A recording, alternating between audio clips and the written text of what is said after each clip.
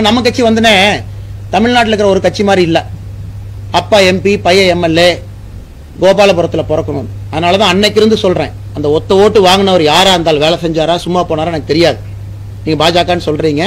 யாரா இருந்தாலும். அவர் வேலை செஞ்சாருன்னா இந்த கட்சியில எம்பியாக பதவி போடுறதுக்கும் நாங்க வந்து வாய்ப்பு கொடுப்போம். அது அந்த கேள்வி கேட்ட சேனல் கட்சியில கொடுப்பாங்களான்னு தெரியாது. ஏன்னா எல்லா பக்கம் பாத்தீங்கன்னா அஞ்சு அப்பா எம்பி அஞ்சு பையன் எம்எல்ஏ அப்படித்தான் இருக்காங்க. அதனால தான் தைரியமா திரும்ப திரும்ப சொல்றோம். அதான் சொல்றேன். தைரியமா திரும்ப திரும்ப சொல்றேன்.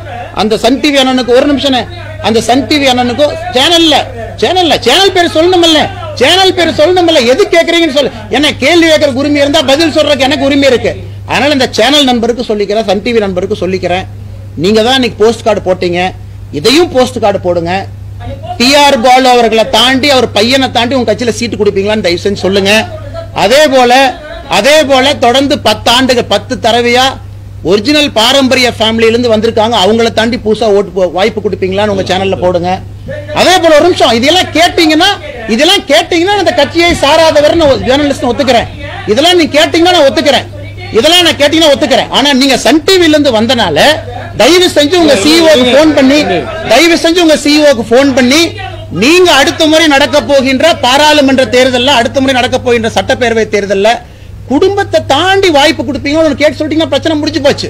நான் உங்களுக்கு மிக தெளிவாக சொல்லிவிட்டோம் மிக தெளிவாக சொல்லிவிட்டோம். அந்த தம்பி கார்த்திக் நல்லா வேலை செஞ்சு இந்த கட்சியில திறமையா பணியாற்றினார்னா அவரு தாமரை சின்னத்துல தாமரை சின்னத்துல நிப்பார். ஆனா நீங்க தொடர்ச்சியா பத்து முறை ஐந்து முறை ஏழு முறை சுதந்திரத்திலிருந்து ஒரே குடும்பத்துல எம்பி எம்எல்ஏ டிக்கெட் கொடுத்துட்டு இருக்கீங்கல்ல நீங்க மாத்தி கொடுப்பீங்களா அல்லது உங்க கட்சியினுடைய தலைவர் அந்த குடும்பத்திலிருந்து மாறி இன்னொரு குடும்பத்திலிருந்து வல்ல வர்றவங்க வந்து தமிழகத்தினுடைய தலைவர்களா வருவாங்களான்னு கேட்டு சொல்லிட்டீங்கன்னா பிரச்சனை முடிஞ்சது ஆனா எங்களை பொறுத்தவரை கார்த்தியினுடைய உழைப்பு இருந்தால் தாமரை சின்னத்தில் நிப்பார் கேளுங்கண்ணா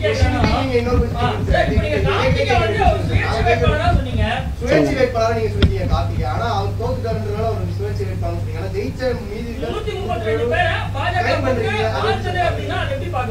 ஜெய் இது மட்டும் இல்ல அண்ணே நீங்க நம்ம கட்சி அப்படி இல்ல. யாரெல்லாம் எலெக்ஷன்ல தோத்துருக்காங்களோ இருபத்தி ஆறாம் தேதி வரப்போறாங்க. அதையும் வந்து பாருங்க அன்னைக்கும் பத்திரிகை மீட்டிங் நடத்துவோம். ஏன்னா ஏற்கனவே சொல்லிட்டு இது ஒரு குடும்ப கட்சி கிடையாது. கோபாலபுரத்துல பிறந்திருக்கணும்னு கிடையாது. இருபத்தி ஆறாம் தேதி இருபத்தி ஆறாம் தேதி நீங்க டென்ஷன் ஆறீங்க கோபாலபுரம் சொன்னா நீங்க டென்ஷன் ஆகணும்னே. கோபாலபுரம் உங்களுக்கு என்ன நீங்க கோபாலபுரத்துல பிறந்திருக்கீங்களா? நான் கோபாலபுரம்னா பிரதர் அதுக்கு டென்ஷன் ஆகணும். நான் நான் கோபாலபுரம் சொல்றேன். நீங்க டென்ஷன் ஆகணும். கோபாலபுரம் நீங்க எதுக்கு டென்ஷன் ஆகணும். நீங்க நீங்க டென்ஷன் ஆகாதீங்க. நீங்க அமைதியா இருங்க. நீங்க கோபாலபுரத்துல பிறக்கலையில நீங்க கோபாலபுரத்துல பிறக்கலையில அவரு ஃப்ரீயா விடுங்க. நான். விமர்சனம் பண்றேன். நீங்க ஏத்துக்கிறது உங்க டிவில போறது போறது உங்களுக்கு. விட்டது. நான் தெளிவா சொல்றேன். கோபாலபுரத்துல நீங்க பிறந்தீங்களா? இல்ல இல்ல பிரதர் அதுக்கு டென்ஷன் ஆகுறீங்க. மாச சம்பளம் கொடுக்குறாங்க ஜெர்னலிஸ்டா இருங்க. முடிஞ்சு போச்சு கதை. நீங்க அதுக்கு சன் டிவிக்கு வக்காலத்து வாங்குறீங்க? அதுக்கு இருக்காங்க கோபாலபுரத்துல வருவாங்க பேசுவாங்க. நீங்க கோபாலபுரம் நீங்க அதுக்கு டென்ஷன் ஆகுறீங்க? நான் சொல்றது இருபத்தி ஆறாம் தேதி யாரெல்லாம் பாஜக போட்டி போட்டு தோத்துருக்காங்களோ அவங்களுக்கும் மீட்டிங் இருக்கும். ஏன்னா எங்களை பொறுத்தவரை வேலை செஞ்சு மக்களுடைய அன்பை பெற்றாங்கன்னா நாளைக்கு ஐயா மாதிரி அமைச்சராகவும் வருவாங்க. ஆனா அது கோபாலபுரத்து கட்சிக்காரங்க சொல்லட்டும். அதைத்தான் நான் திரும்ப உங்களுக்கு வைக்கிற கேள்வி.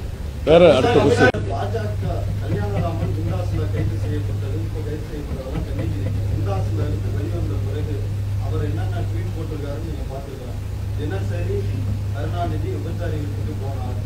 ஒரு எம்எல்ஏவோட மனைவியை குறிப்பிட்டு அவங்க வந்து வைப்பாட்டி பெரியாரும் இதே மாதிரி விபச்சாரம் செய்தார் இப்படியெல்லாம் கருத்துக்களை வெளியிடுறது எந்த வகையில நாகரிகம் இப்போது இருக்கக்கூடிய தமிழகத்தினுடைய முதலமைச்சர் இதற்கு முன்னால் இருபது வருஷமா பேசின பேச்சினுடைய ஆடியோ நாங்கள் கொடுக்கட்டுமா? வீடியோ கொடுக்கட்டுமா?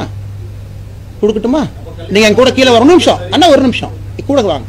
அதை கேட்ட அரசியல்ல கருத்து சோதனை பார்ப்பாங்க. அதுக்காகத்தான் ஸ்பெசிபிக்கா நானூத்தி தொண்ணூத்தி ஒரு செக்ஷனே இருக்கு.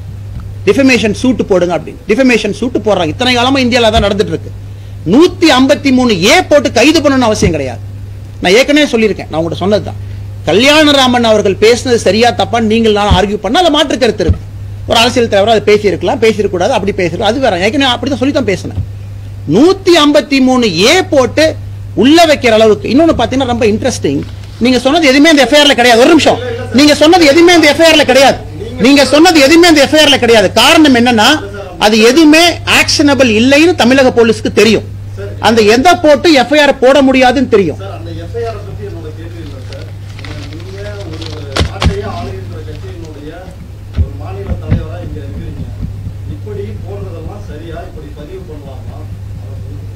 நான் உங்களுக்கு என்ன சொல்றேன் நானே? பத்திரிகையில நான் பத்திரிகையில ஒரு டெபுட்டி எடிட்டரா இருக்கிறீங்க. சரிங்களா? ஒரு மிகப்பெரிய பத்திரிகை இருக்கிறாங்க. தமிழகத்தினுடைய பத்திரிகை பேரை சொல்ல வரல டெபுட்டி எடிட்டர் பாரத பிரதமர் போட்டோவை போட்டு நீங்க ஒரு கமெண்ட் போடுறீங்க. அப்ப நீங்க என்னவா போடுறீங்க? பத்திரிகையாளரா போடுறீங்களா? அந்த நிறுவனத்தினுடைய எம்ப்ளாயியா போடுறீங்களா? இல்ல தனி மனிதன் போடுறீங்களா? எப்படி போடுறீங்க? எப்படி போடுறீங்க? எப்படி போற உங்க பத்திரிக்கைக்கு நான் வர்றேன் நான் பேர் எடுக்கல. பேர் எடுக்க ஒரு நிமிஷம். அதே நீங்க பத்திரிகையாளரா கேள்வி கேட்கறீங்களா? திரும்ப நான் இதே கேள்வி கேட்கிறேன். உங்க பத்திரிகையில் இருக்கிற சோக்கால் deputy editor input editor output editor அவங்களுடைய ஃபேஸ்புக்ல ட்விட்டர்ல ஃபேஸ்புக்ல ட்விட்டர்ல போடுற பதில். பதில் நீங்க பதில் இல்ல இல்லையா நீங்க எடுத்துக்கங்க. பதில் இல்ல இல்லையா நீங்க எடுத்துக்கங்க. பிரதர் நீங்க எடுத்துக்கங்க பிரதர் உங்க இஷ்டம். கரெக்டா பதில் சொன்னாரா பதில் சொல்ல நீங்க எடுத்துக்கங்க. நீங்க பத்திரிகையாளரா நீங்க போடுற பதில் நீங்க பத்திரிகையாளரா போடுறீங்களா? அல்லது நீங்க வந்து டெபுட்டி எடிட்டரா போடுறீங்களா இன்புட் எடிட்டரா போடுறீங்களா? என்னவா போடுறீங்க? என்ன எழுதுறீங்க நான் வந்து என் பதில சொல்லிட்டேன். எப்படி வேணாலும் நீங்க எடுத்துக்கலாம். நாம பேசுறது தமிழக போலீஸ் போட்டிருக்கிற எஃப்ஐஆர் பொறுத்து. நாம போட்டிருக்கிறது தமிழக நாம போட்டிருக்கிறது போலீஸ் போட்டிருக்கிற எஃப்ஐஆர் பொறுத்து.